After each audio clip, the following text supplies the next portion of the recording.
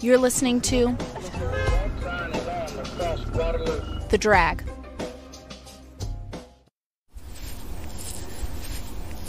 That's the sound of an egg rubbing all around my body.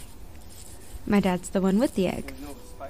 Yeah, he's rubbing an actual store bought refrigerated egg all over my body, going from the tip of my toes to the very top of my head. My dad is performing what my family calls a cura, which is a type of spiritual cleansing, or limpia. I've been getting limpias ever since I learned how to say the word. This little egg is tasked with a big job. It's supposed to absorb all the negative energy that's ever been inflicted on me. Or at least that's what my dad says. He moves pretty quickly with the egg. He goes up and down, side to side. He kind of looks like an artist, making sure to paint every corner of a canvas. He's channeled all his energy and good spirit into this tiny object that he says will protect me from bad vibes. So he's pretty focused.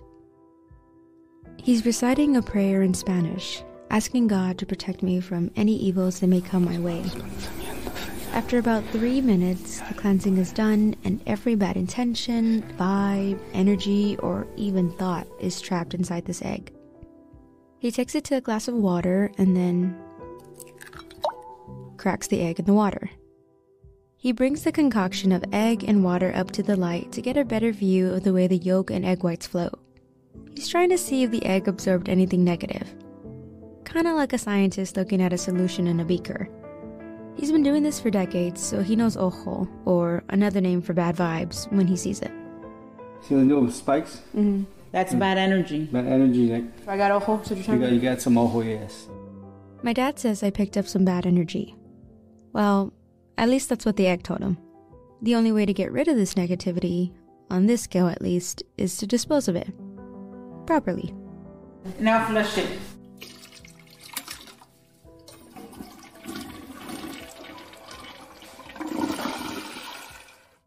That's me, dropping the egg full of water in the toilet so that it's gone forever. I've been doing this for years, getting cleansed by my dad, and always feel lighter after. But for something on a larger scale, you can't just flush away the bad energy. Sometimes you have to burn it all down.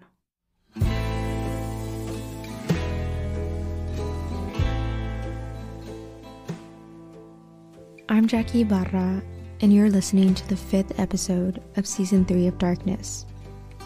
In this podcast, you've learned about Mark Kilroy, a bright young college student robbed of a future. You heard from his family during their journey to find answers in his disappearance and death.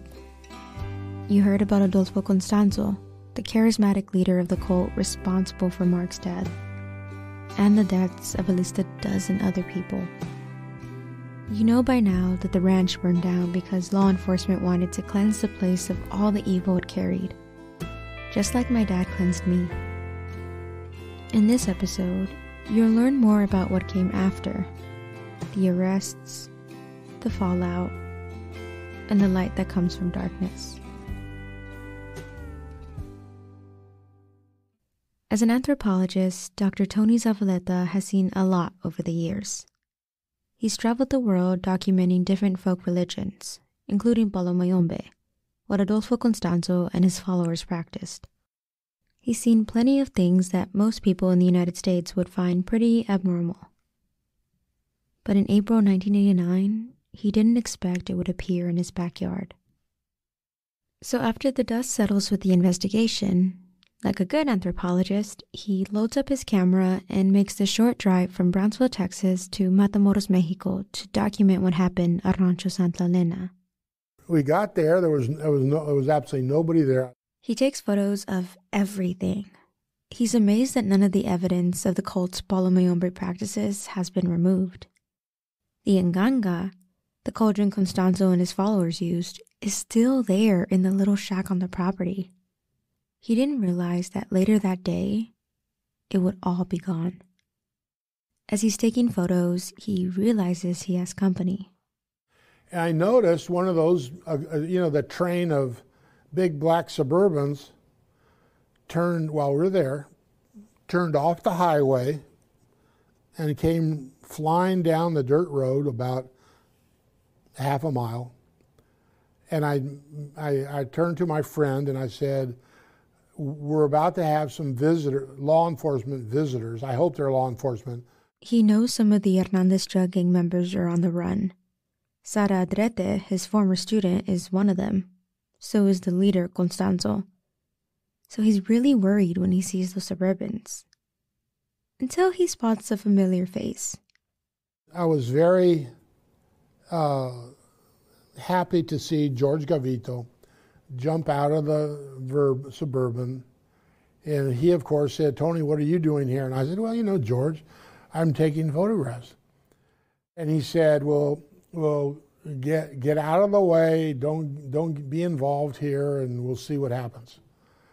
So, the the Comandante Benitez was also there with an old with an old man, and I was told I was told because I asked, what is the old man's role? What is he going to do? And they said he's a witch and he's going to cleanse this place and burn it to the ground. It might sound odd, the idea of police bringing in this witch to a very active crime scene. The proper term to describe him is a curandero, or a type of spiritual healer.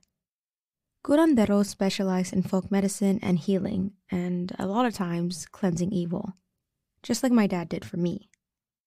They, you know, the Mexican police are very superstitious, extremely, highly superstitious. And I'm sure that uh, Comandante Benitez and all the local law enforcement of Matamoros, I'm sure that they believed that there was this huge power and force out there that was going to that was going to get them. Back when they first followed Serafin onto the ranch, the Mexican police didn't even want to set foot into the shack until it was cleansed. There's even rumors that the comandante had garlic all around his office to ward off evil spirits. You heard Gavito tell the rest of the story at the end of the last episode. The curandero burned the shack and all its contents to the ground. There's one thing investigators have left to do, and that's to find Constanzo and the rest of the cult members. It's Saturday, May 6, 1989. Adolfo Constanzo's been on the run ever since investigators found more than a dozen bodies on Rancho Santa Elena about a month ago. He's in an apartment in Mexico City, along with Sara Aldrete and five other members of his cult. In researching this case, I heard all kinds of things about what happened in Mexico City that day. Some stories say that Sara Aldrete herself tipped off the police that Constanzo was hiding there. Others say police responded to the apartment building for an unrelated disturbance. Some of our sources told us that at one point, Constanzo started throwing money out of the window of the apartment, and that's how police found him. But I think the most likely scenario is that police had been closing in on Constanzo for a while. Police suspect him in a series of other deaths in Mexico City. The victims all had their spinal columns removed, just like Mark Kilroy. Police collect tips from people who have spotted Sara Aldrete or the other gang members, and they follow Constanzo's right hand man, nicknamed El Dubi. They follow this gang member to an apartment in the Colonia Cuauhtemoc neighborhood of Mexico City. It's one of the nicest neighborhoods in the city. The apartment building stands five stories tall and is generally unassuming.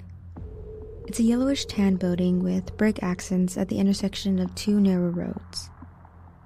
Street vendors line the sidewalks. They see El Dubi walk into the building. Police swarm the area. They wait to make their move, but Constanzo spots them first. Here's investigator George Gavito. So he gets one of the machine guns and he starts shooting out of the room. So the cops come and they show up and then they see all these cop cars. So he starts throwing money. He starts throwing money out of the out of the windows down. Constanzo had burned the money on the stove and tossed the ashes out of the window. He also throws heavy gold coins. The gun battle lasts about 45 minutes. Constanzo and his followers fire at the police, and officers fire back. Constanzo was hiding with his boyfriend, a cult member who was one of his many lovers. During the shootout, Constanzo gave his right hand man El Dubi an order. Constanzo wanted El Dubi to shoot him and his boyfriend. So uh, when all this is going on, the police hit the, the building there. They go upstairs. Sada and them go to the top floor. They go and arrest them. When they come back, Constanzo and his boyfriend are dead in the closet. But he had like 60 bullet holes in him, and so did the other guys. Afterward, a police officer at the scene would tell the Los Angeles Times that Sara Aldrete ran out screaming, quote, He's dead. They killed him. He's dead. By now, George Gavito's been working this case for months. It's like nothing he's ever been through. So you can't blame the guy for what he thinks when he arrives in Mexico City after the shootout. When we got there, I told him, I want to see the body. I said, this guy might not even be dead, man, you know? He wants proof that it's actually all over. So he and the customs agent Oren Neck go to the Mexico City morgue. It's like four stories down, you know, and we're walking down there, and, and Oren, Oren is with us, and, and, uh, and one, another guy from the customs is with us, and he had the camera, and we're walking, and as we're walking, we see these rooms, and they're just bodies and bodies. We, Mexico City is the largest city in the world. I mean, this is the only place they do autopsies, you know? Oren Neck's a customs agent. He's not used to seeing this type of scene. So by Oren Neck started to started to lose it, you know, he said, you know what, I'll wait for you guys outside, man. He turned around and got the hell out of there. Gavito and the other customs agent carry on into the depths of the morgue. And what they see catches them off guard. It's a room full of dead bodies and the folks examining them because they do multiple autopsies at once here. And they got 15 teams uh, working, and they're doing different autopsies. And then they got, back then, and I'm sure they do it a little different now, they had a guy up there, sitting up there, one up there, one up here, one, four guys with typewriters. And they would go, stretcher number six, his liver weighs so much, and this and this. And then you got all this blood that's just running and running and running. And my God, we were in there, and oh my God, what am I doing here? You know, I've been to autopsies before, but one, not, not, not 30 at the same time, you know, and, and the smell was something else. But once Gavito's able to get past the stench and the strangeness of the scene, he sees him. Adolfo Constanzo lying on the autopsy table. Gavito knew Constanzo had a unique tattoo. For weeks, he fielded phone calls from people who claimed to have seen Constanzo, but none of those people had seen a tattoo.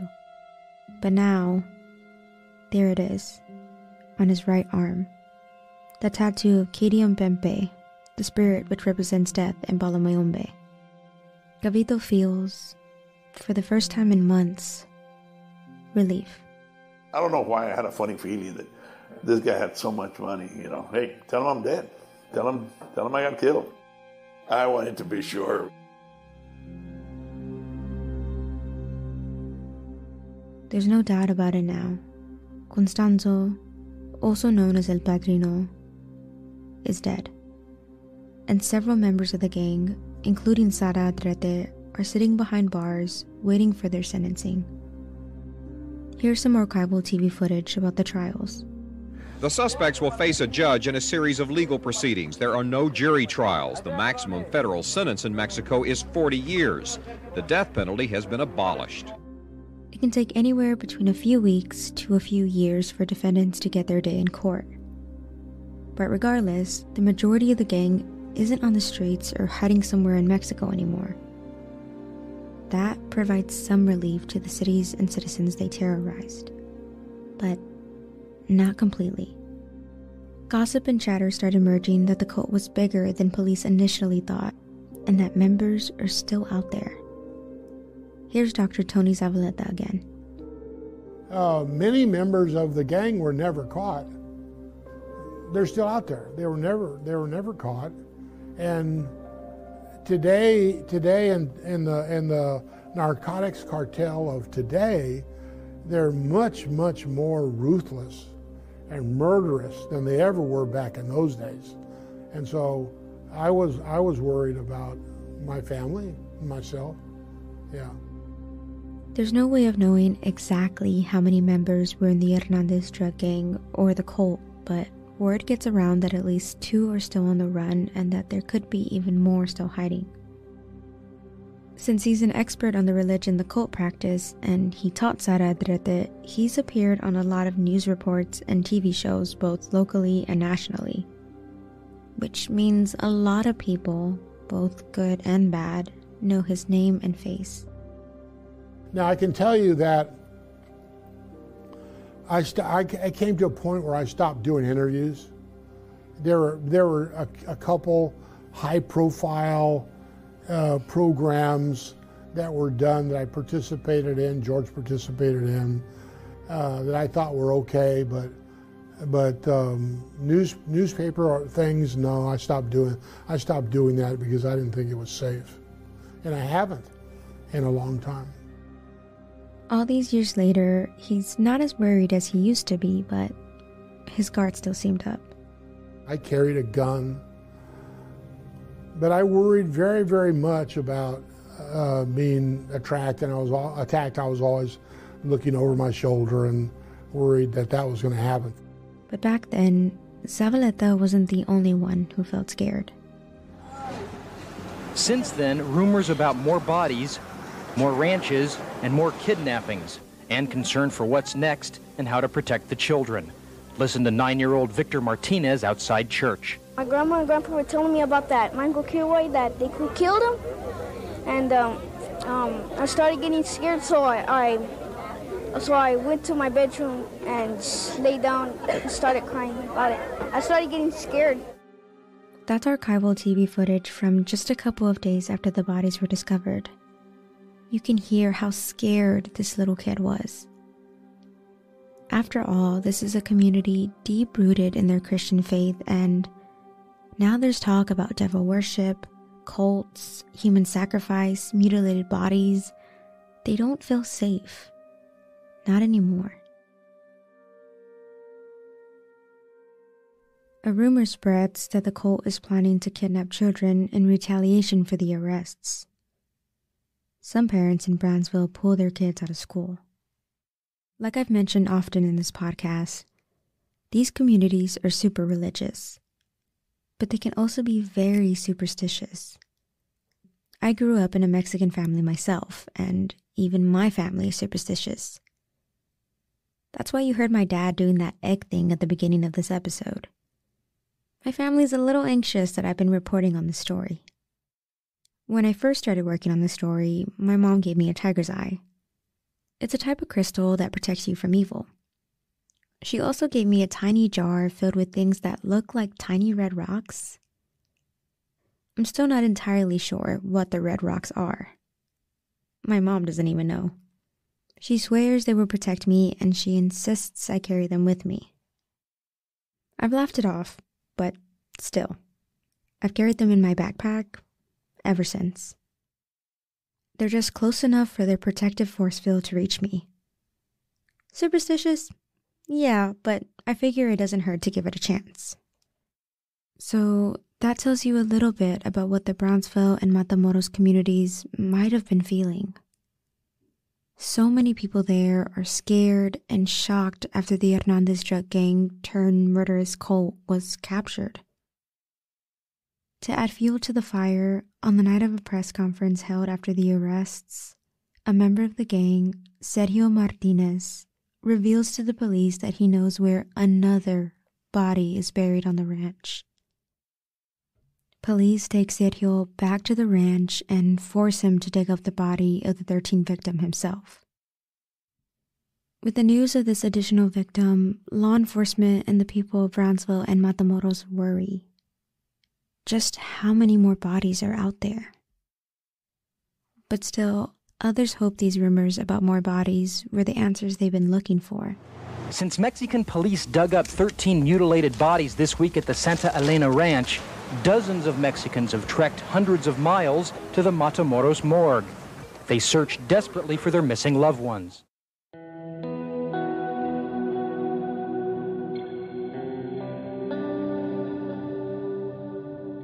The morgue is small and looks like a church, like the one shaped in a triangle, and it has these sort of stained glass windows. It sits in the central part of the city of Matamoros, just 14 minutes from Brownsville. From the pictures and videos I've seen, it looks like it can hold just a few bodies, so they're not really prepared for this influx of bodies from the ranch.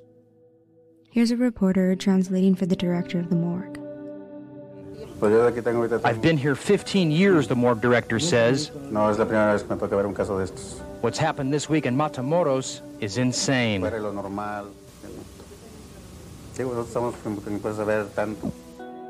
It's one family's turn to go inside the morgue. Juanita Aprubel covers her mouth and nose, looks away, and then steps forward with her family in a chamber filled with death. They're looking for their missing son. Juanita and her family step inside this room. It looks sort of like a doctor's office with white walls and floors. Fluorescent lights flood the room as the family steps closer to the bodies. The bodies are wrapped in tarp, side by side, on the floor. The family steps closer to one body, clutching fabric over their noses. The morgue's director instructs them to find identifying marks. Her husband Jesus points to his arm, perhaps recognizing a birthmark. Where are his clothes, he asks. We know him by his shoes. The director responds, he was found naked. Jesus says his son disappeared 18 months ago. You think he ended up at the ranch, we ask? Even more families wait outside the morgue. Some are dressed in black. Others are holding up pictures of their missing loved ones. The family of Ruben Vela Garza just learned he was abducted, tortured, and mutilated at the ranch. An older woman, dressed in black, tells the reporter about her godson, Ruben. In between tears, she says that Ruben wasn't the kind of man who would get into any trouble. He was my godson, she says. He was a nice young man. Although Ruben's family got an answer, lots of other families won't find their loved ones or get any type of closure. You love podcasts the stories, the laughs, the unexpected turns. But when this episode ends, the silence starts. Not anymore. Audiobooks.com turns that silence into your next great adventure. With over 450,000 titles, from bestsellers to hidden gems, your love for listening just found its new best friend. And because you already know the joy of audio, we're giving you three free audiobooks to start your journey. Imagine your favorite podcast, now with unlimited episodes. That's audiobooks.com. Keep the story going. Sign up for your free trial at audiobooks.com slash podcast free today. Because for podcast lovers like you, the end of an episode is just the beginning. That's audiobooks.com slash podcast F R E E. In 1964, more than two decades before Mark Kilroy disappeared in Mexico, the country started a database to track the number of missing persons. It's called the National Registry of the Disappeared, and it's updated pretty regularly. By 2022, the number exceeded 100,000 people. It's a chilling statistic, and it's one that's expected to keep climbing. In Mexico, missing persons reports often go uninvestigated by police, which leaves the families of the missing people to their own devices. They search, ask questions, retrace steps, and sometimes even start digging. Even now, in 2022, countless groups of everyday people have formed to search for their missing loved ones. There's one made up of women mostly mothers, who venture out into different parts of Mexico to search for their loved ones. When Mark was found, so were the bodies of at least a dozen people, all males. The youngest was believed to be 14 years old. Mark Kilroy was terribly unlucky and, and it never should have happened to him. But he was just the last of dozens of men who were killed whose names never got reported. In fact, the police down there didn't even want to release their names to us, and none of the American reporters were pushing for them. This was Kilroy and nameless, faceless young men no one cared enough about to look for before the white guy got killed, right? That's Siva Vaidhyanathan, the former reporter who covered this story for the Dallas Morning News back in 1989. I ended up wondering a few things, some pretty deep things, like why did it take an American University of Texas student to go missing for anybody in Mexico to care about this this slaughter, right? There had been dozens of young men missing. Their families, I'm sure, had been asking about them. Nobody bothered looking. But the moment the U.S. consulate starts asking, can you help us out? Uh, we've got this missing student. Um, oh, immediately, it was so easy to find this ranch, this gang. Siva isn't wrong about officials not putting much effort in. But it also wouldn't be fair to say that there wasn't anybody searching for these other missing people. Like I told you, so many families came straight to Matamoros in hopes of finding their loved ones after hearing about the ranch on the news. And like I said, most of the time, it is the families and not the police that go to great lengths to find their missing loved ones. It's just that most times, these families don't have nearly the same amount of resources as a family that is American, middle class, and white would have. And certainly not the amount of media attention. There are a lot of things we don't know about the dozens of other men who were found alongside Mark. I wish we did, but reporting on an international case like this is bound to have some holes. What we do know, though, is that those other people were exactly that people. People who were sons or brothers or fathers or friends. People who had dreams, just like Mark.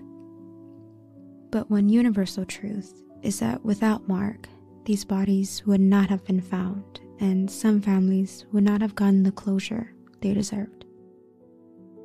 But the Kilroys, at least, were able to find their son and give him a proper funeral. They found refuge in Brownsville within the walls of a local Catholic church, with their own church nearly 400 miles away. So when they got the news about Mark, they knew they wanted to have a mass for him in the church with the congregation that had become like family to them St. Luke's Catholic Church in Brownsville. St. Luke's is a pretty big church. It's got your typical Catholic church feel long wooden pews, stained glass windows, a giant cross, weekly Mass. But the Mass here tends to be a bit more vibrant than your typical service. I added in the Mass was the mariachi. Then the mariachi uh, was uh, like an invitation to the, celebrate a joyful Mass. That's Monsignor Nicolau, the priest you heard from earlier in the podcast. He likes for masses and church services to feel like a celebration with lots of music and singing and joy. So when it was time to have a mass for Mark, he wanted it to be exactly the same thing a celebration.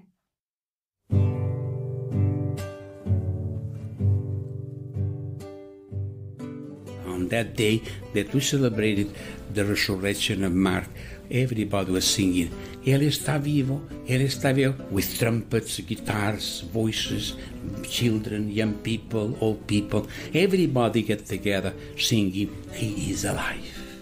And it was joyous. There was mariachi music blaring and a choir singing off to the side. There were these big, beautiful arrangements of yellow and purple flowers with yellow ribbon wrapped around them. Big, bold, glittery letters read, we love you, Mark. And Mark's photograph stood in the center. I'll never forget the church was packed with people. It was like standing room. And there were even people outside, you know, probably people that they didn't even know, but people came out to you know, to, to be with them. That's Letty Fernandez, the TV reporter from Brownsville. She was at the Mass as a journalist, but also as a friend. There were also a lot of cameras there, but mostly the room was full of people from the community. Some of them were friends who got to know the family, like Monica Rodriguez Davis and her family who lent their home to the Kilroys while they searched for their son. There were others who didn't even know Mark or his family but felt their pain and wanted to be there for them. Here's Monica. It was just remarkable how many people showed up and just complete strangers in the community that were just bawling at this mass. And I just, you know, thought it was just amazing because you're just, your heart, all these people, all of Brownsville felt for this couple and this family and um, they felt like it was their own son or their own brother. Monica was 17 when all this happened, not all that much younger than Mark. After the music and the guitars all faded out, and it's just silence, Monsignor Nicolau gives his sermon. Drug dealers, drug addicts, criminals killed the body of Mark, but they were not able to kill his spirit. The Kilroy family sits in the front row, nodding and listening to Monsignor Nicolau deliver the rest of his sermon. They're not crying, but Helen is clutching Jim's hand. They're still wearing yellow ribbons for Mark. Jim and Helen speak at the Mass too. They thank everyone for their prayers and their help in the search for their son. They also ask people to pray for the other victims and to not forget about them. When I interviewed Monsignor Nicolau, he made sure to remind me that he's 84 years old now and that there are some things he forgets. But not that Mass. I'll never forget that Mass. I'll never forget so many, so many days that we stayed together. Jim writes in his book that the Mass at Brownsville was a moment he'll remember forever. And he writes that Helen saw a reflection of her own sadness that day in the church. Mark's funeral was held in the same church he grew up attending back in his hometown of Santa Fe, Texas, Our Lady of Lourdes Catholic Church. Just like the Mass in Brownsville, it was also packed with Mark's friends, family, and what felt like his whole town. Santa Fe, Texas is a pretty small town, and when the news of Mark first broke, the whole town came together to help. They organized fundraisers and raffles to help raise money for the family, and yellow ribbons became their symbol of hope. On the day of his funeral, yellow ribbons were everywhere on the trees outside of the church, on the mailboxes of houses leading into the city, telephone posts, on radio antennas on cars, outside of businesses, and on the chests of the people who loved him. The whole town was yellow, just for Mark.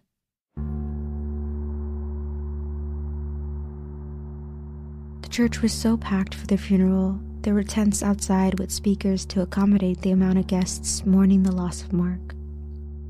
A giant wreath, about 10 feet high, sat outside the funeral surrounded by 60 pots of yellow chrysanthemums, a flower that's supposed to symbolize love and light. Inside, people squeezed into the pews, and the church was filled with even more flower arrangements. Pictures of a smiling Mark and mementos from his life were scattered on a table in the front of the church.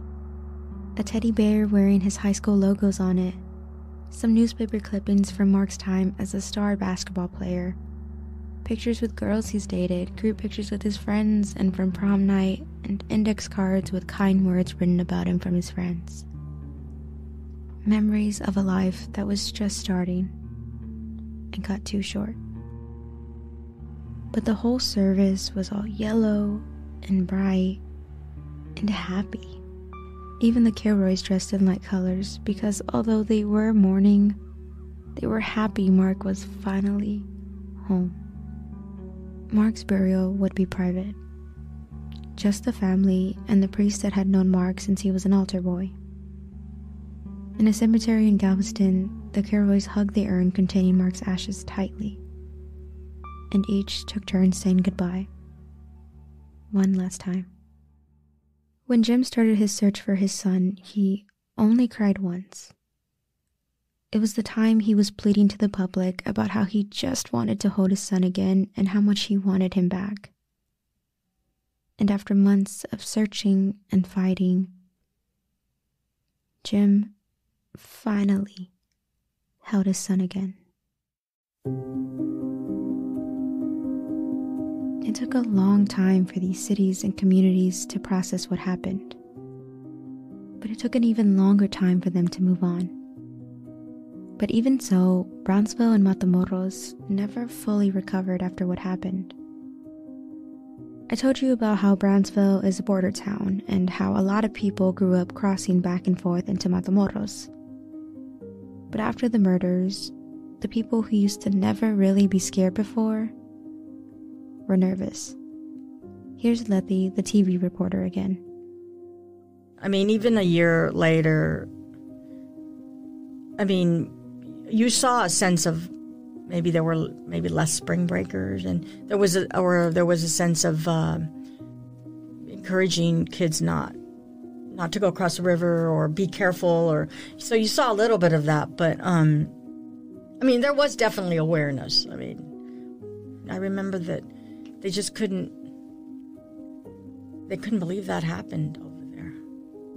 You know that that was actually what took place. You know. But Matamoros was a city that thrived off their nightlife and the spring breakers. The discovery of the ranch, coupled with the increasing cartel violence, changed the city. For the people who grew up in these communities, watching the aftermath of an incident like this hurt. Oscar Casares, the Brownsville essayist you heard from earlier in this podcast, grew up doing the same things spring breakers do, even hitting the same bars and clubs. He knows how lively the bars and clubs were in Matamoros before Mark and how jam packed it was. But he also saw how much it changed after Mark died. It's been 30 plus years, and, and that shock wave of, of what happened to with uh, Mark Kilroy is still felt. And Matamoros never recovered in that regard. Never recovered. I mean, there are probably students who still go over, but not to the degree that it was uh, up until that point, up until the late 80s, early, night, or early 90s, uh, where it was just, there were just hordes, hordes. I mean, it was just like they blocked off the streets and there were just thousands of, of kids, you know, school, college students, uh, just going up and down the street. And it was just, they, they took over that part of the city, right? Um, and that, that just got, I mean, you know, for years and years, I think it, it didn't happen. I, I don't know if it's come back some, but but I doubt that it's that it ever got back to where it was back then. But it wasn't just about their dwindling volume of spring breakers or newfound hesitancy into a place they used to feel so good about going to. When the Matamoros murders happened, it also opened the door for racism and discrimination.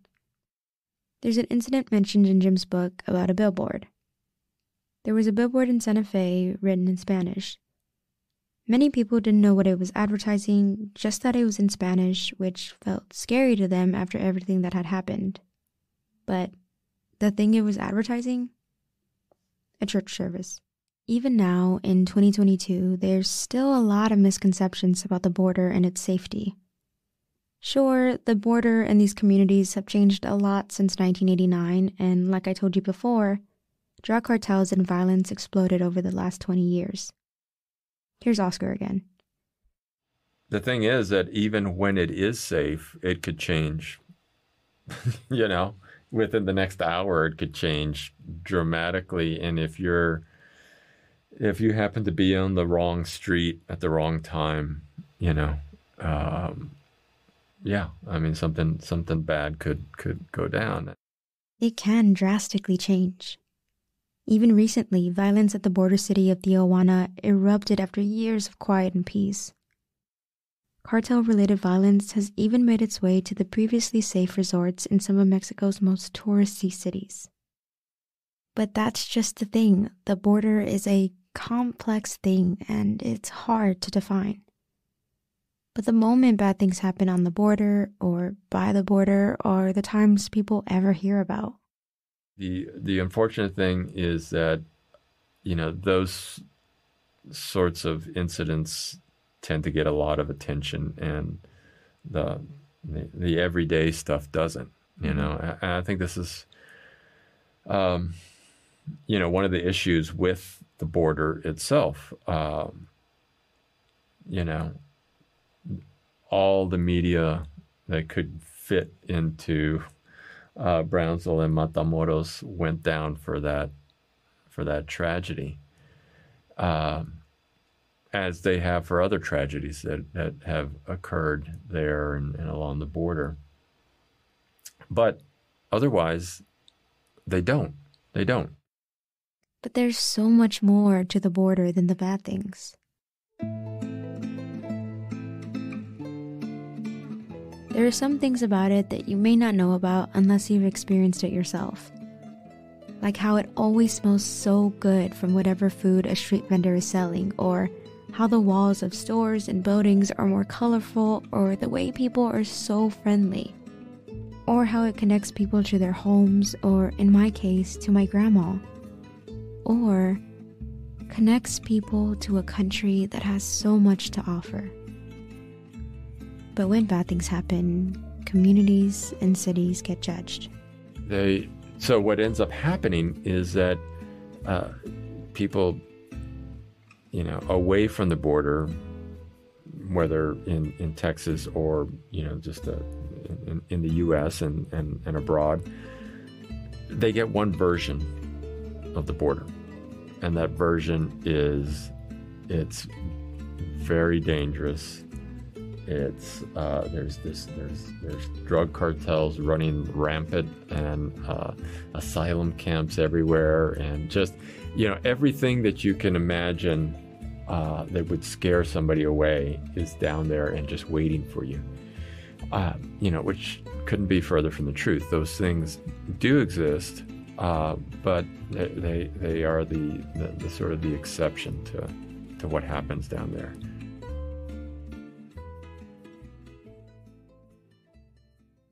When I started working on this story, I was a few months shy of my 21st birthday. Mark Kilroy and I share the same birthday, March 5th. I've been thinking about this day since I was a tiny freshman in college back in 2019. Literally, I've dreamed about getting to show my new vertical ID to the server at Applebee's when I'm finally able to order a margarita. So to say I've been counting down the days is an understatement.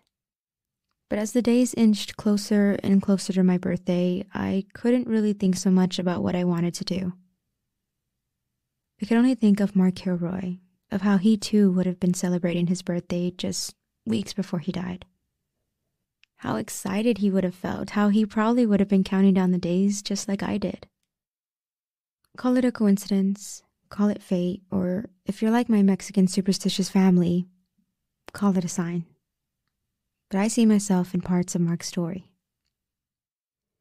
If I hadn't turned 21 during the COVID 19 pandemic, I would have probably have traveled somewhere like South Padre Island or even Mexico. I would have drank with my friends on a beach somewhere to celebrate the milestone of turning 21. It would be great to spend a week forgetting that I'm a student with homework and responsibilities. That's all that Mark wanted. We both got asked, what are you doing for your 21st? We both got to drink our first legal drink. We both got to blow out candles with our families, but only one of us got to go home.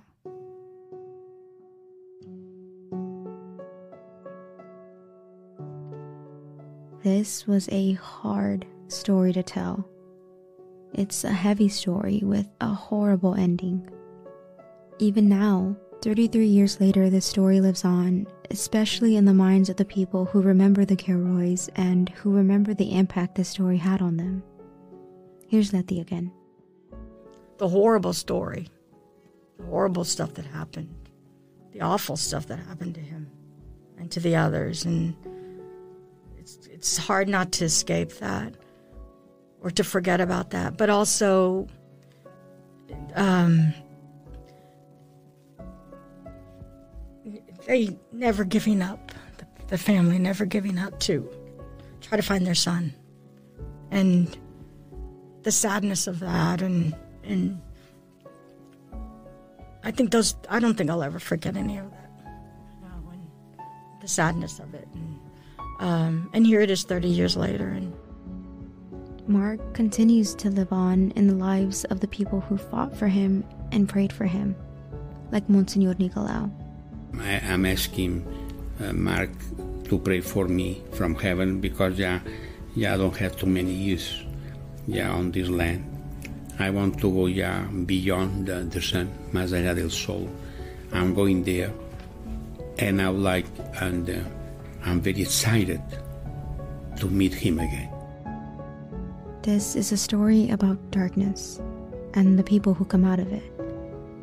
But it's also a story about people like Monsignor Nicolau, who, at the end of our phone interview earlier this year, made sure to pray for me, a girl he's never met in person, just like how he prayed for Mark. I'm going to give you a blessing, okay? May Almighty Yes. God bless you and keep you.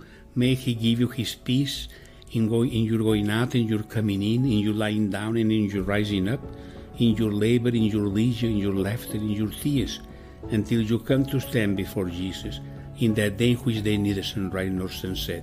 Que Dios te bendiga, mija. El Padre, el Hijo y el Espíritu Santo. Pray for me.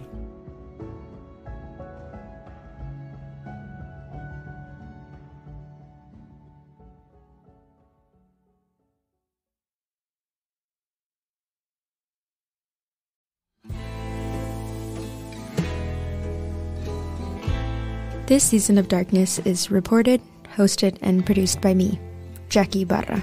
Katie Penchik-Alka and Robert Quigley are the executive producers. This podcast is presented by The Drag, a student run audio production house at the University of Texas at Austin's Moody College of Communication. Sewa Olivares is the lead sound designer and editor for this season of Darkness, and the assistant editor is Heather Stewart. Special thanks to Marian Navarro for being the lead reporter on this story when this project first began. The associate producers are Emily Rubin, Megan Kirby, Jake Herman, Khadija Balde, Bethany Stork, and Miranda Vilches. The artwork was designed by Helen Halsey and Alexa Georgelos. Sofia Vargas Garam is the drag's marketing and communications manager, and Grace Robertson is the drag's PR manager. Christian McDonald is our technical director. Special thanks to Bob Buckaloo at KVUE TV in Austin for all his time and effort finding archival footage for us to use in these episodes. And thanks to KVUE for letting us use the audio. A huge thank you to Leslie Schrock for all her support and guidance. We also want to thank Jay Bernhardt, David Reif, Rachel Davis Mersey, Allison Dawson, and Kathleen Mabley of the Moody College of Communication. The Drag is a nonprofit educational organization that is made possible by donors like you. Please support our work by going to thedragaudio.com slash donate. Every dollar goes directly to producing more content like this while giving students like me an amazing educational experience. Thank you.